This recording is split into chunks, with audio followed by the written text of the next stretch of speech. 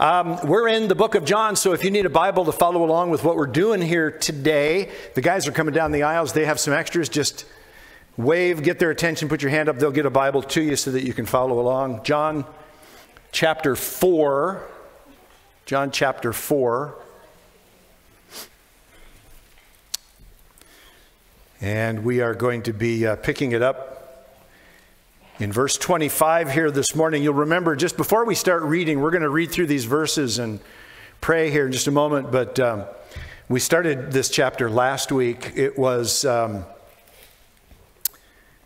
it was telling us how Jesus and his disciples began to move northward um, from Judea in the south to Galilee in the north. And in order to keep the trip to a minimum of time, they had to pass through Samaria, which was between Judea and Galilee. And uh, we read last week how Jesus and his disciples stopped at a well because Jesus was weary. And uh, the disciples kind of went off to go uh, get some um, food at a nearby town. Jesus sat there, and while he was waiting for them, a woman from Samaria, from the nearby town, uh, came to the well to draw water. It was about noon. And eventually, Jesus asked her for a drink, which started an entire conversation between uh, he and the lady. Uh, the last of which we dealt we, we talked about that conversation, the various nuances and, and, and, and things that they talked about, the last of which was true worship and the definition of true worship and, uh, and that sort of thing. But the essence of what Jesus was trying to speak to this woman about was what, what, what her needs that drove her. And this is such an important conversation for us to pay attention to because we are, we are a people, let's just face it, driven by our needs. And whatever needs those might be, you know, whether they're, they're all temporal needs that we have, and fundamentally they're, they're not wrong in and of themselves. We can make them wrong by the way we try to satisfy them. But um, we are all driven by need. We all have an insatiable need, you know, within us for various things. And, and he, he began to speak to this woman, this Samaritan woman, about her own uh, needs, the things that had dominated her life. And um, to speak to her about something that he had to offer that the world could not. And we'll get into that here today, but we're going to pick up the conversation in verse 25. Follow along with me as we're going to read down through about 43 or 42, something like that. Here we go. The woman said to him, I know that Messiah is coming, he who is called Christ. When he comes, he will tell us all things. Jesus said to her, I who speak to you am he. Just then his disciples came back. They marveled that he was talking with a woman, but no one said, What do you seek? or Why are you talking with her? So the woman left her water jar and went away into town and said to the people, Come, see a man who told me all that I ever did. Can this be the Christ? They went out of the town and were coming to him. Meanwhile, the disciples were urging him, saying, Rabbi, eat. But he said to them, I have food to eat that you do not know about. So the disciples said to one another, Has anyone brought him something to eat? Jesus said to them, My food is to do the will of him who sent me and to accomplish his work. Do you not say there are yet four months and then comes the harvest? Look, I tell you, lift up your eyes and see that the fields are white for harvest. Already the one who reaps is receiving wages and gathering fruit for eternal life, so that the sower and reaper may rejoice together. For here the saying holds true one sows and another reaps. I sent you to reap that for which you did not labor. Others have labored, and you've entered into their labor. Many Samaritans from that town believed in him because of the woman's testimony. He told me all that I ever did. So when the Samaritans came to him, they asked him to stay with them, and he stayed there two days. And many more believed because of his word. They said to the woman, It is no longer because of what you said that we believe for we have heard for ourselves, and we know this is indeed the Savior of the world. Stop there. Let's pray. Father, as we get into this section of Scripture today, as we talk about these verses, as we, as we unpack what they are saying to us, we just really need your Holy Spirit to guide us. We need you to open our hearts. We need you to open our ears. We want to hear from you today, Lord. We want to hear your voice. We want to hear your instruction, your insight. We ask you to guide us. We ask you to fill our hearts. We ask you to create a receptivity in our hearts, Lord God, for your word. Be with us, we pray, Father. Jesus' precious name we pray. Amen. Amen. You know, I've talked to you guys before about how at the time that Jesus came, he didn't surprise. Well, I got to be careful how I say that. Let me just say this people were expecting a Messiah to show up. And you can see that this woman, this Samaritan woman, even expresses that. She says to him, Well, I know that Messiah is coming. And it's like, Well, she's a Samaritan. You know, she's not even a full Jew, but yet she says, I know Messiah is coming. And, and you know, who knows what they expected of him? Because the Samaritans didn't embrace the whole of the uh, Jewish Bible. Uh, they only accepted a portion of it, just kind of like the Sadducees did. And so their, their knowledge, their understanding was uh, incomplete as it relates to Messiah and his mission and the redemptive program of God and all that, you know, kind of good stuff. But there were some things they believed, and, and one was that Messiah was coming. And then she goes on to say, and when he comes, he's going to tell us all things. I looked up that word tell in my Greek dictionary, and I found out that it means to disclose. Isn't that interesting? Or to report. So this woman believed with all of her heart, and I have to assume this was probably a common Samaritan belief that when Messiah came, he was going to disclose things to them that were important for them, you know, to know. Well, it is at this point that Jesus does something very unexpected. He tells her who he is. He just kind of comes right out and he says, you know, because she's talking about the Messiah. I know the Messiah is coming, and when he comes, he's going to, and he says, I am him. I am him. I am the Messiah. And you know, this is really kind of, it, it, takes us aback a little bit because normally we don't see Jesus doing this. In his own homeland, in his own area among the Jews, you know, he had to actually be very careful about revealing his identity because there, there were these people called zealots and you might know uh, something about them. But the zealots, it comes from the word zeal, they were very zealous for their nation and their national security. And, and they were very upset by the fact that the Romans had come in and, and conquered them essentially and set up a martial law and, and, and they were in charge. And the, the Jews were very upset about that. And they were just looking for opportunities, you know, to, to do some kind of a, a political revolution, you know. And so Jesus had to be very careful about the things that he shared or, or the way he revealed himself because um, that was a tinderbox that he had to be careful not to throw a match toward. Um, in fact, when we get here in the next couple of weeks, when we get into John chapter 6, we're going to see Jesus faced with this very issue. Let me put this on the screen for you so you can see it. John 6 14 says, When the people saw the sign, and that's key, that he had done, they said, This is indeed the prophet who is to come into the world. And then look what it says Perceiving then that they were about to come and take him by force to make him king, Jesus withdrew again to the mountain by himself. So, you know, when people started to get all lathered up and, and, and ready to do something, we're going to, he had to just kind of back away and, and just give it some space and let these people kind of cool down a little bit. Because you see, Jesus was always, always concerned about the Father's timing. This was an issue of timing, you guys. And so he was always thinking about that. And besides, like I said, it was never his intention to start a political revolution. That, that, that wasn't what he came to do. He didn't come to overthrow the Romans, you know. So, but here in Samaria, there, there's no uh, threat of political, what do I want to call it, upheaval or something like that. So he's able to say to this woman, I am he. I am uh, the Messiah. Now, in verse 27, if you look with me in your Bible, we're told that just then Jesus' disciples came back and they were marveling at the fact that he was talking to a woman because you see, back then it was inappropriate culturally uh, for a woman to speak to a man in public without her husband. And so that was an odd thing off the get go. And then on top of it, she was a Samaritan. And Jews just didn't talk to Samaritans. They just, you just ignored them, you know? So um, it, we go on to, it says in the rest of that verse that they didn't ask him what was going on or what he was doing.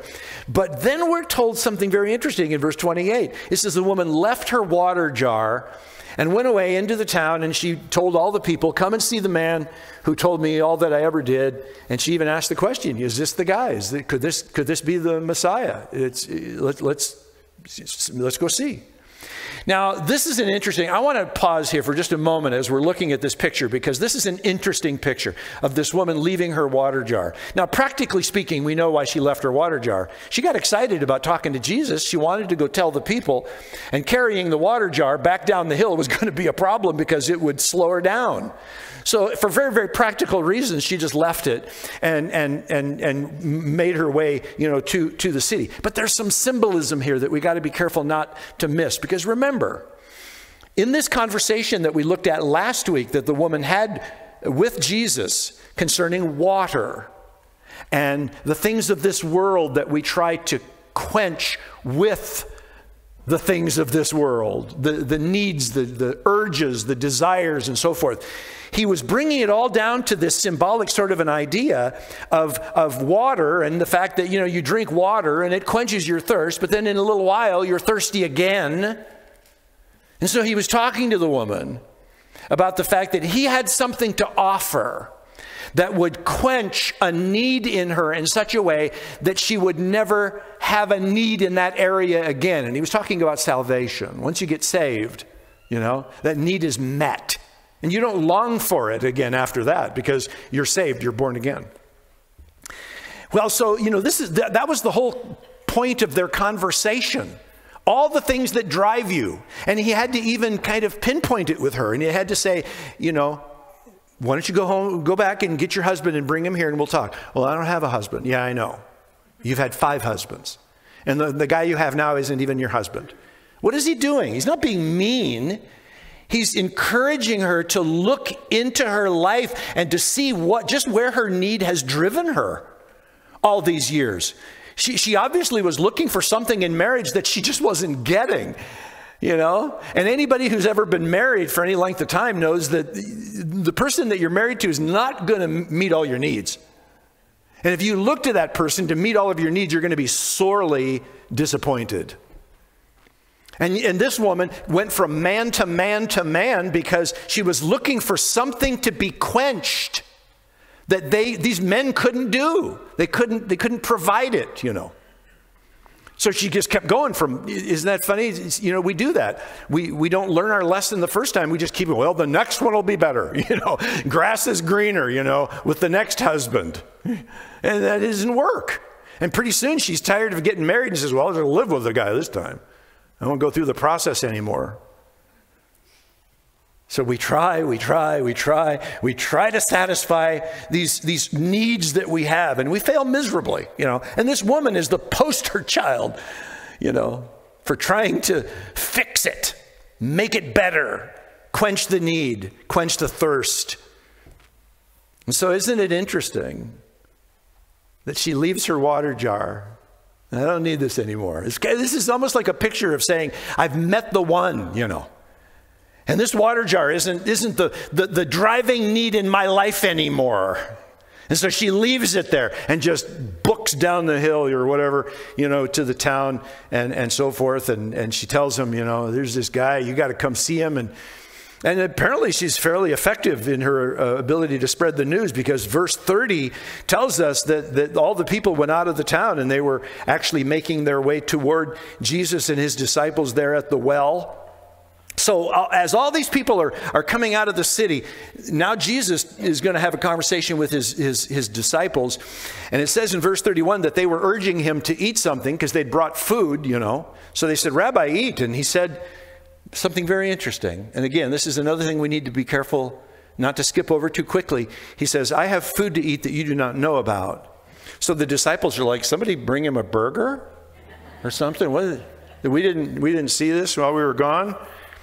But Jesus makes an important statement in verse 34. Please take note of this. He says, My food is to do the will of him who sent me and to accomplish his work. And that short statement right there that's worthy of our attention. Um, because you see, fundamentally, what the disciples went to go do, getting food in the nearby town, there was nothing wrong with that. There's nothing wrong with your urge to eat.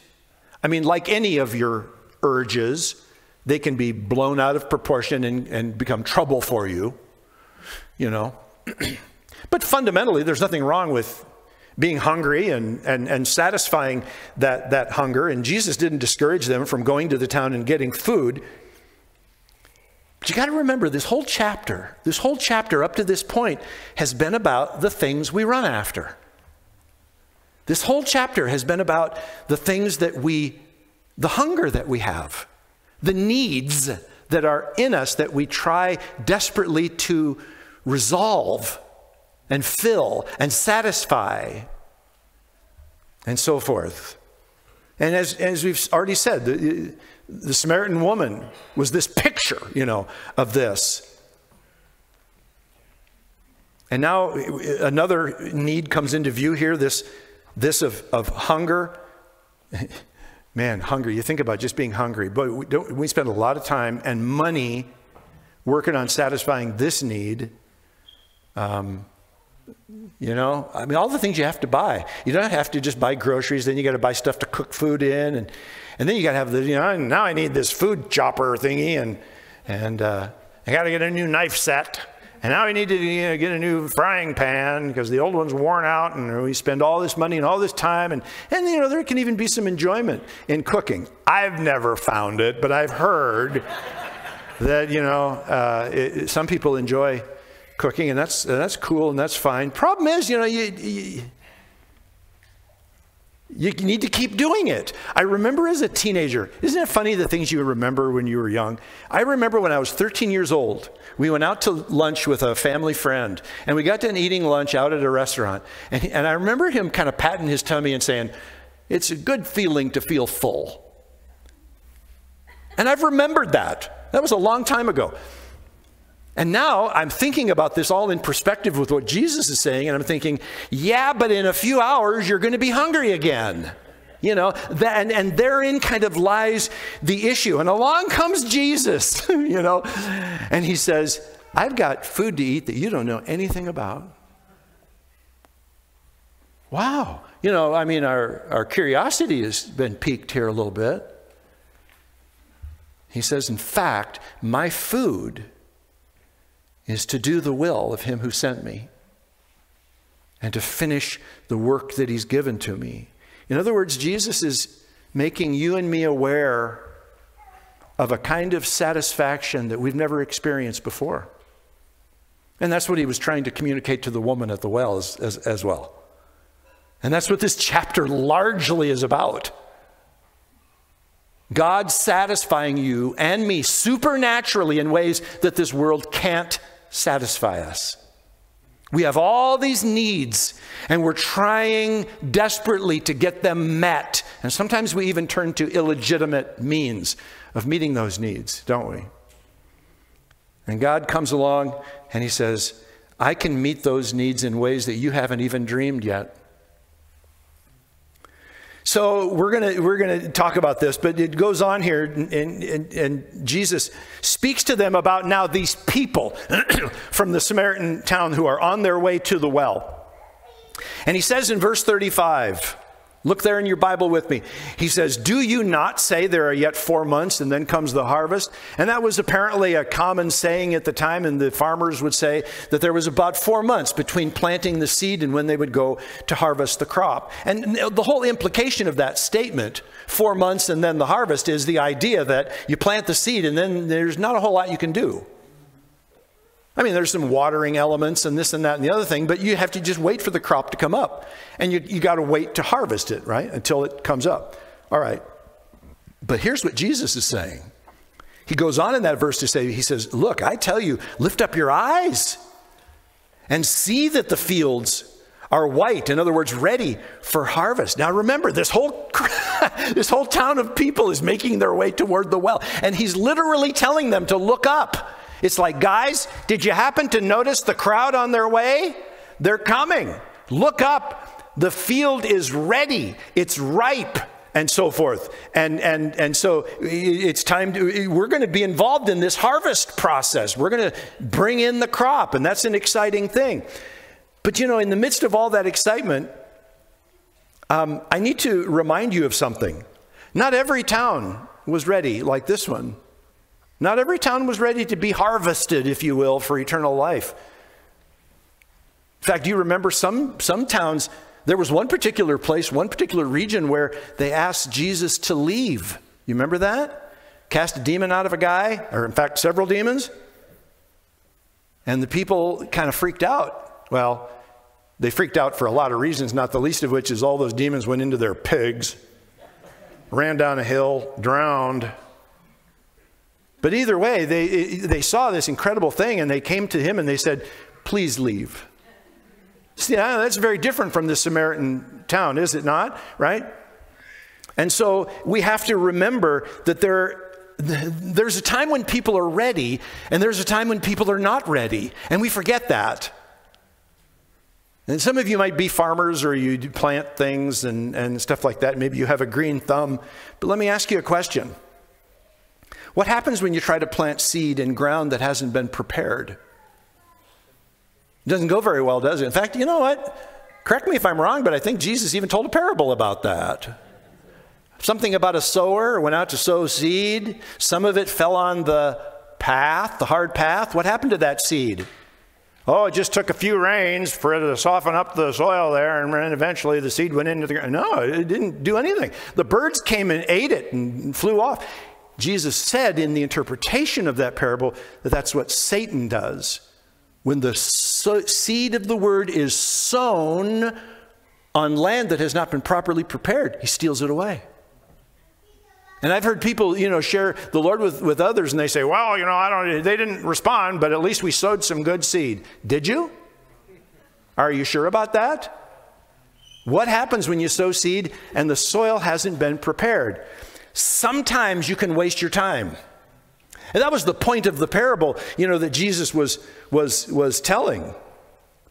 What happens also when you try to bring the harvest in before it's full grown and ready to be harvested? Well, that kind of ruins the whole point, doesn't it? If I go out to the wheat field before the wheat is ready to be brought in, what I've, I've ruined my work. You know? What's the, what's the point I'm making here? The point I'm making is that there's a time to these things. Timing is involved in, in, in these issues of evangelism. And I bring this up because I hear from Christians a lot who want to reach their family members for whatever reason. You know, there, some people just have family who, who've rejected the Lord. Some people, I mean, I'll get a note from somebody, they'll write me and say, My son has gotten involved in a lifestyle that I know is is ungodly and, and, and dangerous and destructive. And I want to reach this. So they'll say, Pastor Paul, well, give me a scripture, you know, that I can go and I can, or tell me how I can talk to this person. And I always have to remind them listen, you have to start by preparing the soil. And I remind people if you go talk to somebody before the soil's been prepared, it's not going to do any good. They're going to reject what you say. Because Jesus, that's what Jesus told us in the parable of the sower. If the heart is hard and they're not ready to listen, then you're going to go and you might even shut them down further. And you have to consider that as a possibility. Well, then what am I supposed to do? You pray. You start with prayer. Lord, prepare the ground, prepare the soil. Do you know that only God can do that? And He will use circumstances in their life and He will bring people across their path and He will do this or do that and He will bring them to a place of softening. And it is up to you to be watching for that, the sign of that softening to take place. And you have to pay attention and look for that open door. And you and it might come in conversation or something, you know, that they who knows how it might, but you got to be watching and you got to be discerning. And you have to know when is the season for planting.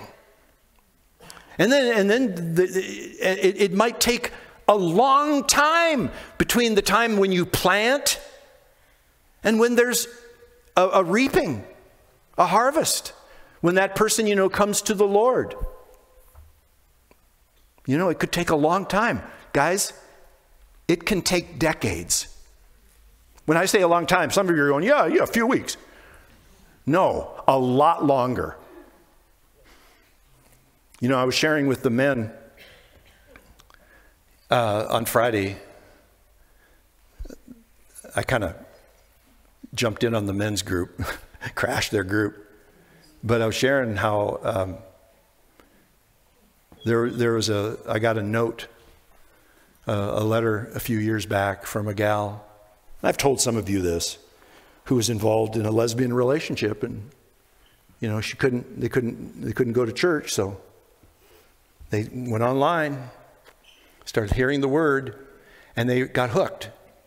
And they started listening not just on Sundays, they listened every day. She said every day, we'd listen every day we'd, as we were getting ready to go to work, turn on, you know, YouTube and listen to teachings through the Bible. And they just, they happen to find Calvary Chapel, Ontario. I think she's from down south somewhere. Two years, two years of hearing the word every single day. Two years until these two women finally looked at each other and said, We can't do this anymore. We have to change our life. And you know, that just reminded me when I got that letter, I, I remember being just kind of taken aback because I mean, this, these are women who've been hearing the word now every single day for two years. And they, after two years, they finally said, something has to change. And I want it to happen in two minutes. You know, I want to get on an airplane, and in the time it takes me to get from, you know, Boise to Minneapolis, I want to witness to somebody and have them praying to receive Jesus by the time we land in Minneapolis. And if they don't, something is wrong. No, there's a season here, people. Now, Jesus is getting his disciples to recognize the one that they're in right now. Here's all these people coming from the Samaritan town. Guys, look up. This is harvest time. There's going to be other times when we're just going to be planting, but this is harvest time. Get ready, get out your sickle. We're going to be doing some work here, and it's going to be fun, you know? So I tell people, you know, again, when you've got loved ones, here's, here's the deal. When you have loved ones in your life that you want to come to Jesus, you're emotionally connected to those people. Do you know that that can be a problem? Your emotional connection to people can actually be a problem because you want it to happen now. Right? And so you end up you end up doing things and saying things and maybe trying to break open the door when it's not open or you try to plant seed on soil that just hadn't been prepared because you want them desperately to come to know Jesus as their savior. But you have to be aware of the seasons and the times. And you have to do what you can do. And I tell them, I tell people over and over pray, keep praying, don't stop praying. Pray that God would do that work of preparing their hearts. Pray that God would prepare the soil of their heart to hear. Pray that they'd be open. And people write me and they say, Pastor Paul, my son is just violently opposed to the Word of God. Well, then you've got a lot of praying to do.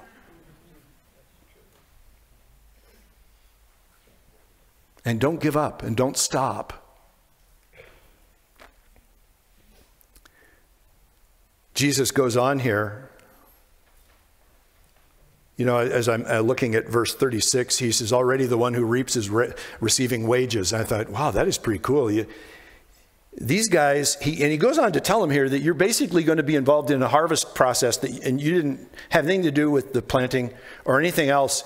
You're just, going to, you're just here to harvest and you're going to get paid. You're going to, you're going to receive your wages. Now, that's a very interesting thought, isn't it?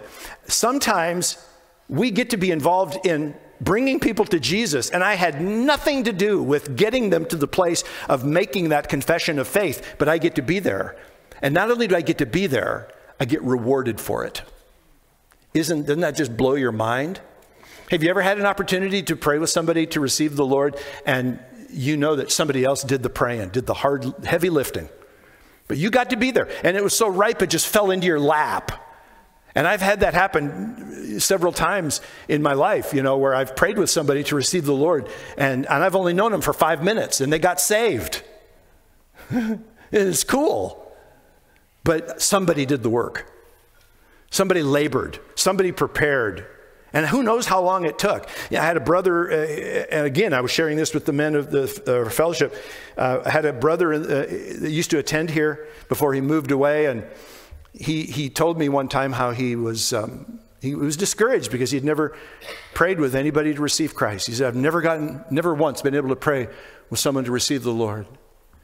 But I know that that brother was a, a, a man that often shared his faith with people.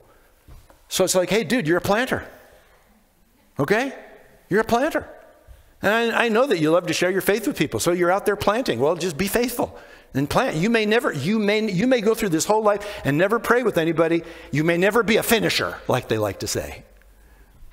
That's okay. Somebody else will come along and do it for you. That's fine. You'll both get paid. you both get your wages, you know. Just be faithful. Just be faithful. Right? And just do what the Lord has given you to do. You know, we talk about planting, we talk about harvesting. Uh, the Apostle Paul gives us an insight into another element of the whole evangelistic process in 1 Corinthians. Uh, let me put this on the screen. 1 Corinthians chapter 3, look at this. He says, I planted, Apollos, oh, here's a new one. He says, Apollos watered, but God gave the growth. That's, that's the Lord's business there. So he says, Neither he who plants nor he who waters is really anything, but only God who gives the growth. He who plants and he who waters, they're one. They're, they're basically doing the same job, although they're doing different functions of that job. And he says, Each one will receive his wages according to his labor, right? So he's telling us here that there's another element of the, this evangelistic process, which is watering. So you meet somebody and you weren't you weren't the one that planted the seed in their life but you find out that somebody witnessed to them and they've been thinking about it and pondering that but they haven't yet come to christ and so what do you do you start praying for them and you encourage them to get into the word and read more and study more and understand better and you're watering and you may not be the person who's going to come and do the harvest, but you're a waterer. Okay, so we got a planter, we got a waterer, and we have a harvester. Just be faithful. Just be faithful. Do what the Lord gives you to do whenever He gives you to do it, you know? Because we're not all the same thing. Now, in verse 39, we read Many Samaritans from that town believed in him because of the woman's testimony. He told me all that I ever did. And this is the first thing that generated a sense of faith in these Samaritan people. The woman gave her testimony. And when you share your testimony, that can generate faith to get people moving forward to come and meet Jesus too.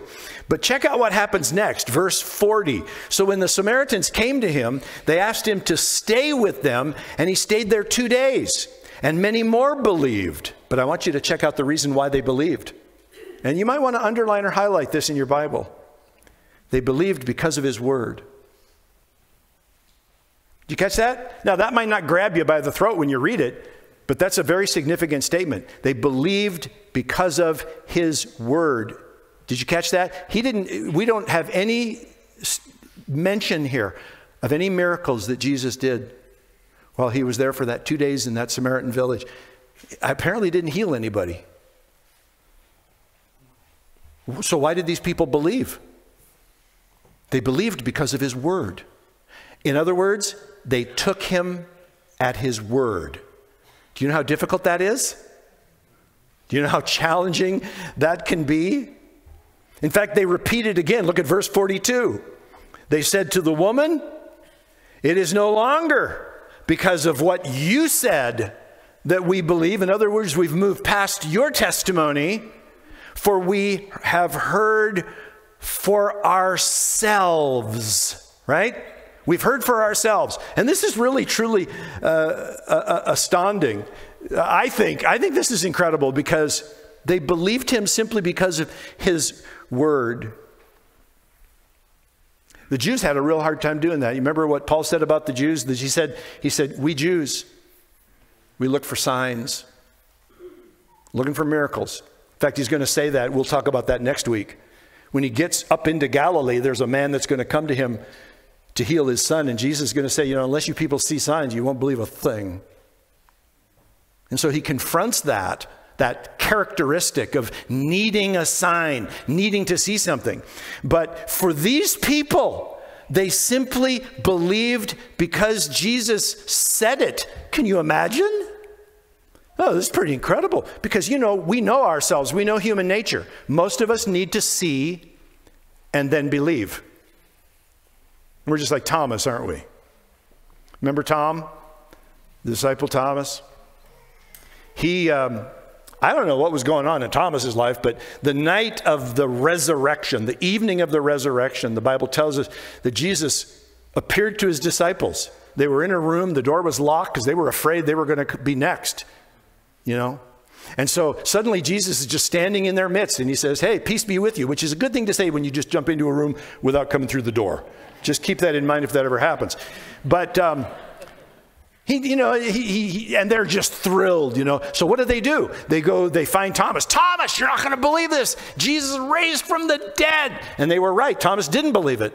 He said, I won't believe it until I see it, until I can touch him. Nope. No can do. So, what happened? Let me put this on the screen. John chapter 20. Eight days later, his disciples were inside again, and Thomas was with them. And although the doors were locked, Jesus came and stood among them and said, Peace be with you. Then he said to Thomas, I, you notice that? He goes right to Thomas. He says, Put your finger here and see my hands, and put out your hand and place it in my side. Do not disbelieve, but believe. And Thomas answered him, My Lord and my God. I want you to notice what Jesus says next. This is very important. Jesus said to him, Have you believed because you have seen me? Blessed are those who have not seen and have yet believed. Do you see what Jesus is doing here? He's making it very clear to you and me through this whole process. And this story of the Samaritans really underscores this that we honor the Lord. There's, uh, when, when, when we take him at his word, we honor him. Now, I'm not saying that, that, that you know, if, if you've seen a miracle in your life and that brought you to, to come to Christ and eventually give your life to him, great, wonderful, that's not a problem. You're not a second class citizen in the kingdom of God. All I'm saying is there is a higher level of faith. And, and, it's funny, every time I mention this, and I've taught this before, I usually get some pushback from Christians. I'll get a letter or a note or somebody, and somebody will take issue with it when I say that this is a higher form of faith to believe and to take God simply at His word but I believe it with all my heart. In fact, you know what? That was how Abraham was called a righteous man. The Bible says, and Abraham believed God, and God credited it to him as righteousness. He just believed. He didn't have to see anything, he just, he just believed. He took him at his word. And that is so important. And that's what we see these Samaritans doing. They're saying, We believe. We heard him, we heard him speak. It's enough for us. Done. We are we've got it. We believe. Now, what did they believe? Look at the end of verse 42. I didn't finish the whole reading the whole verse. The end of the verse says, "And we know."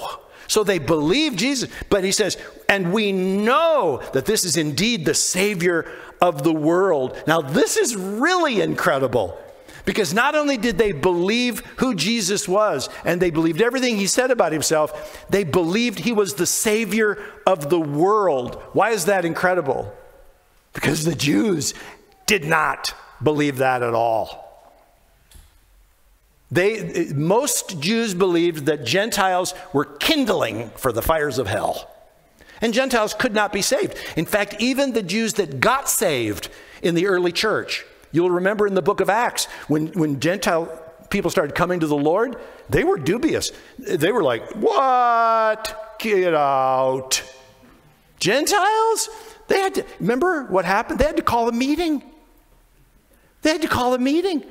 It's, you can read it for yourself. It's in Acts chapter 11. They had to call a meeting. And they called Peter and said, What's going on anyway? So Peter had to tell them, Well, you're not going to believe this, guys, but I, I, was, I was sitting, I was on the roof waiting for lunch to be made, and the Lord gave me a vision. And there was this huge sheet let down from heaven, and da da da. And eventually, God started speaking to me about not calling things unclean that He's determined are clean. And then these men showed up. And they were from the house of this, this Roman guy named Cornelius, and they invited me to come with them. And the Lord told me, Go with them. So I did.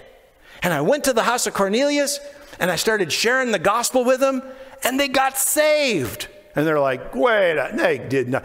Listen, Peter says, the Spirit fell on them just like He fell on us on the day of Pentecost. I saw it with my own eyes. You know how it's funny how Acts chapter 11 ends? It's like, well, I don't believe it. Even the Gentiles can be saved. They're just like, what next? You know, they're just like, this is incredible. Gentiles can be saved. Isn't it interesting? These Samaritans had it dialed in years earlier when they say, Not only do we believe in Jesus, we believe he is the Savior of the world. Wow. It really is a pretty incredible, a pretty incredible thing. So Jesus stayed with these people for a couple of days. I have to wonder, you know, as we get into this next section next week, I have to wonder if Jesus was a little discouraged when he got to Galilee and began to be among his own people again. And that thirst for a sign, you know, that longing for a sign show, is going to show itself right away. And we'll deal with that next week. But I want to just leave you with this, just encourage you that God has given you his word. Do you believe it? Do you take him at his word? Or do you question it? Or push it aside or push it away? Or do you just take him at his word? It takes courage, it takes faith. But there's a blessed condition that Jesus pronounces upon those who believe without seeing, who believe because they understand the character of the person speaking. And because I know his character, I believe what he says. Amen? Let's stand together. If you need prayer, we would love to pray for you today. So as you're heading out, come on down front and we'd like to pray. Heavenly Father, I thank you for your word here today. I thank you for the reminders. And I know that there are a lot of people here in this room, and there's a bunch who are watching us live online, and some of them, some of them are sowers, and some of them are waterers, and still others are harvesters. Lord, whatever position you may put us in, or even multiple positions in some cases, we ask in the name of Jesus, your Son, that you would make our hearts faithful to serve you and to be diligent with whatever you've given us to do. And as we walk through this life, Lord, give us a heart of faith that takes you at your word and believes, needs no further convincing, but understands him who has spoken as the eternal God who cannot lie and who is faithful in all his ways. Help us, Lord, always to believe to trust, and to put our hope in you. We ask this in the name of Jesus Christ, and all God's people said together, Amen. God bless you. Have a good rest of your day.